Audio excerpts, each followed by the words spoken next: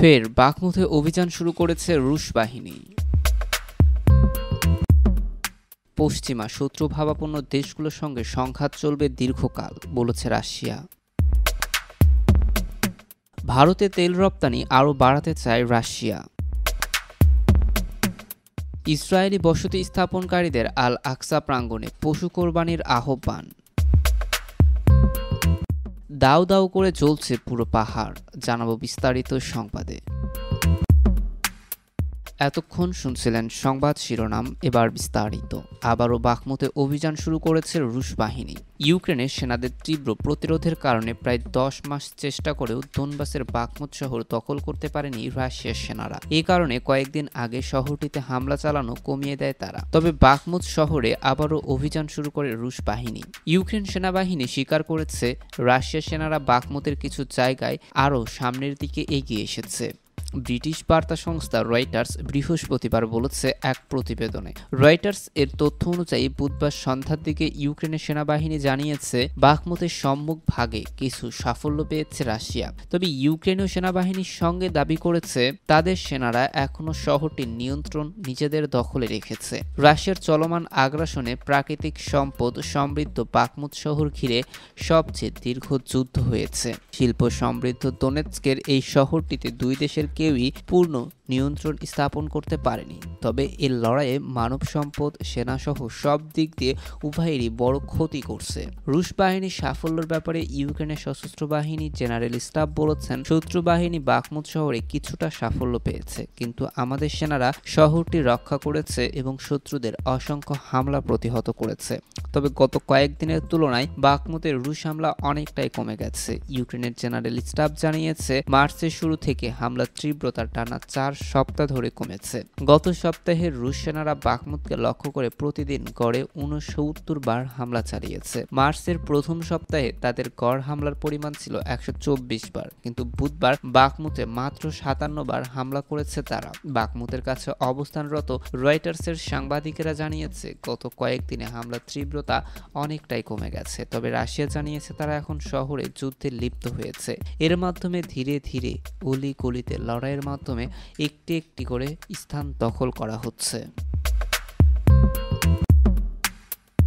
এদিকে জানিয়ে দিব, পশ্চিমা শত্রুভাবাপন্ন দেশগুলোর সঙ্গে সংঘাত চলবে দীর্ঘকাল। রাশিয়ার বিরুদ্ধে পশ্চিমা শত্রুভাবাপন্ন দেশগুলো যে হাইব্রিড যুদ্ধ শুরু করেছে তা বহু কাল ধরে চলবে বলে মন্তব্য করেছে মস্কো। রুশ প্রেসিডেন্টের আবাসিক কার্যালয় ক্রেমলিনের মুখপাত্র দিমিত্রি প্রেসকোপ গতকাল মস্কোয় এক সংবাদ সম্মেলনে এই ভবিষ্যৎবাণী করেন। ইউক্রেনে রাশিয়ার সামরিক অভিযান কতদিন ধরে চলবে এমন প্রশ্নের উত্তরে তিনি এই মন্তব্য করেন। প্রেসকোপ বলেন, আপনি যদি বৃহত্তর পরিসরে একটি যুদ্ধের কথা বুঝিয়ে থাকেন থাকেন শত্রুভাবাপন্ন দেশগুলোর সঙ্গে সংঘাত এবং আমাদের দেশের বিরুদ্ধে হাইব্রিড যুদ্ধের প্রসঙ্গে কথা বলে থাকেন তাহলে বহুকাল ধরে চলবে। তিনি আরও বলেন, এখানেই আমাদের আত্মবিশ্বাসী হতে হবে এবং শক্তপোক্তভাবে প্রেসিডেন্টের চারপাশে লেগে থাকতে হবে।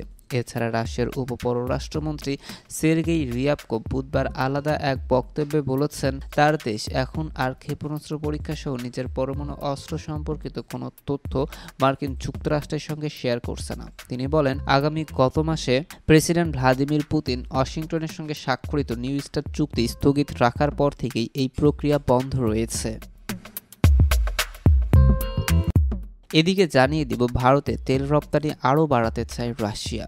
ভারতের সঙ্গে তেল রপ্তানি পরিমাণ আরও বাড়াতে চাইছে রাশিয়া। দেশটির তেল উৎপাদন সংস্থা রুসনেফট জানিয়েছে, ইন্ডিয়ান ওয়েল কর্পোরেশন এর সঙ্গে বড় চুক্তি সম্পাদন করেছে তারা। ভারতের তেল রপ্তানির পরিমাণ আরও বাড়াতে এই চুক্তি সম্পাদন করা হয়েছে। রুসনেফটের এক শীর্ষ কর্মকর্তা ভারতে এসে এই চুক্তি সই করেছে। তবে কত পরিমাণ তেল রপ্তানি চুক্তি হয়েছে সেই বিষয়ে কিছু জানায়নি সংস্থাটি।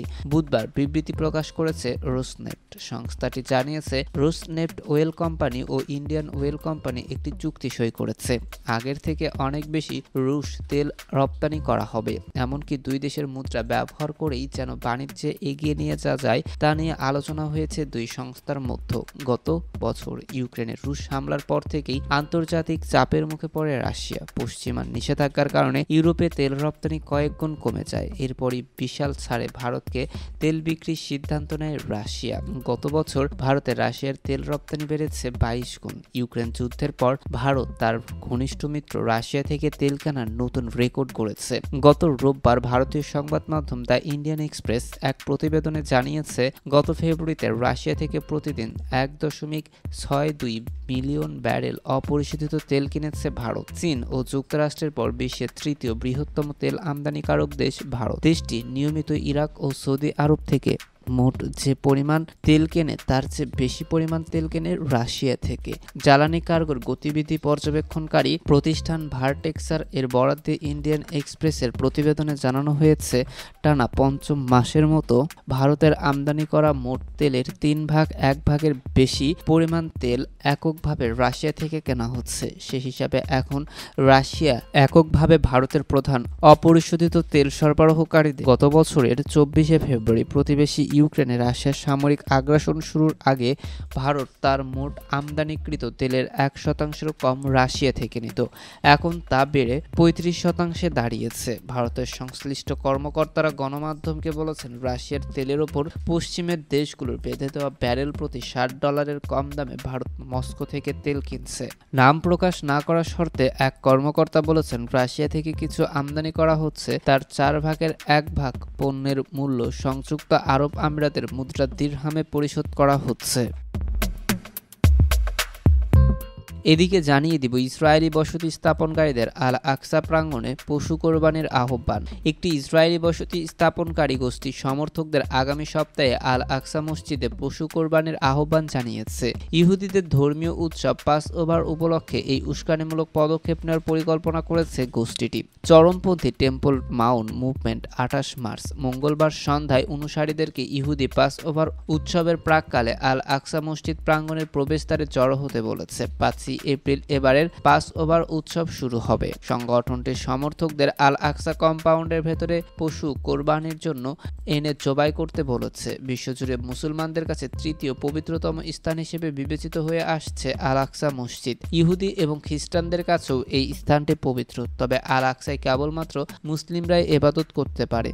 ইহুদি খ্রিস্টানদের কোনো রকম প্রার্থনা বা ধর্মীয় আচার অনুষ্ঠান পালনের অনুমতি নেই। আল আকসা মসজিদের পরিচালক Sheikh Omar Al Kiswani news website Al Araby Al জাদিদকে বলেছেন, চরমপন্থী এই গোষ্ঠী যে আহ্বান জানিয়েছে তা খুবই বিপজ্জনক। তিনি বলেন, বসতি স্থাপনকারীরা এমন কিছু করার উদ্যোগ নিলে মসজিদ কমিটি তা প্রতিহত করার চেষ্টা করবে। চরমপন্থী বসতি স্থাপনকারীদের লাগাম টেনে ধরার জন্য দখলদার শক্তিকে আমরা অনুরোধ করেছি।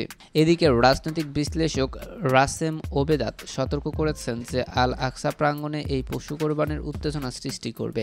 তিনি বলেন, যদি তারা তাদের চরমপন্থী সরকারের সমর্থনে এই হুমকি কার্যকর করে, তবে সমস্ত ফিলিস্তিনিদের অঞ্চল জুড়ে বিস্ফোরিত হতে পারে। এর আগে দুই হাজার একুশ সালের মে মাসে এ ধরনের ঘটনা ঘটেছিল। এবার এর চেয়ে বড় পরিসরে যুদ্ধ হতে পারে। এমনকি এটি এমন একটি আঞ্চলিক যুদ্ধের দিকেও যেতে পারে। ইসরায়েলি চরমপন্থীরা প্রতি রমজান মাসেই আলাকসা মসজিদকে কেন্দ্র করে গণ্ডগোলের চেষ্টা করে। এবারের রমজানেও পুলিশের প্রহরায় উগ্রবাদী ইহুদিরা আল আকসা মসজিদ প্রাঙ্গণে প্রবেশ করে হামলা চালিয়েছে। উল্লেখ্য নবী মুসা আলাহিসাল্লাম এর নেতৃত্ব মিশরীয়দের দাসত্ব থেকে ইহুদিরা যেদিন মুক্তি পেয়েছিল, সেদিন পাস ওভার উৎসব হিসেবে পালন করে থাকে ইহুদিরা। এটি ইহুদি ধর্মাবলম্বীদের একটি বড় উৎসবের দিন। এদিকে জানিয়ে দিব, দাও দাও করে জ্বলছে পুরো পাহাড়। দক্ষিণ পূর্ব এশিয়ার দেশ থাইল্যান্ডে একটি আস্ত পাহাড় আগুনে দাও দাও করে জ্বলতে দেখা গেছে। ঘটনাটি দেশটির নাখুন্নায়ন অঞ্চলের খবর রাইটার্সের। রাস্তার পাশ দিয়ে যাওয়ার সময় কেউ একজন বুধবার মোবাইলে এই বিরল দৃশ্য ধারণ করেন। ভিডিওতে দেখা যায় বিশাল আকৃতির একটি পাহাড়ের সব জায়গায় আগুন লেগে গেছে। আর রাতের বেলায় পাহাড়টির ভিডিও ধারণ করায় দেখতে বেশ ভয়ানকও লাগছিল। তবে সঙ্গে সঙ্গে আরও দেখতে সুন্দরও লাগছিল। একটি আস্ত পাহাড় জলার এই ভিডিও সামাজিক যোগাযোগ মাধ্যমে প্রকাশের পর প্রায় সঙ্গে সঙ্গেই ভাইরাল হয়ে যায়। তবে পাহাড়ে কীভাবে এত বড় আগুন লাগল সে বিষয়ে এখনও খুঁজে বের করতে পারেনি ওই অঞ্চলের প্রশাসন। তবে স্থানীয় সূত্রগুলো রাইটার্সকে জানিয়েছে, তাদের ধারণা আগুনের সূত্রপাত হয়েছে বজ্রপাত এবং ঝড়ো হাওয়া থেকে। কারণ গত মঙ্গলবার ওই অঞ্চলে প্রচণ্ড বজ্রপাতের ঘটনা ঘটেছিল। আগুন যেন বেশি দূরে ছড়িয়ে যেতে না পারে এবং এর জন্য আর কোনো ক্ষয়ক্ষতি না হয়, সেজন্য এখন এটি দ্রুত সময়ের জন্য নেভানোর চেষ্টা করা হচ্ছে। এ কাজে স্থানীয় প্রশাসন ছাড়াও খাও ইয়ে ন্যাশনাল পার্কের কর্মকর্তারা, উদ্ধারকর্মীরা এবং স্বেচ্ছাসেবকদের মোতায়েন করা হয়েছে। এই অঞ্চলের স্থানীয়রা রয়টার্সকে জানিয়েছে যে পাহাড়টিতে আগুন দেখে মনে হচ্ছে সেটি একটি ঘন বনাঞ্চল। ওই এলাকার মানুষের বসতি নেই, ফলে মানুষের কিছু না হলেও আগুনে সবচেয়ে বেশি সরাসরি ক্ষতিগ্রস্ত হবে বন্য প্রাণীরা এতক্ষণ আমাদের সাথে থাকার জন্য ধন্যবাদ। পরবর্তী সংবাদ সবার আগে পেতে আমাদের চ্যানেলটি সাবস্ক্রাইব করে পাশে থাকা বেল আইকনটিতে ক্লিক করে রাখুন।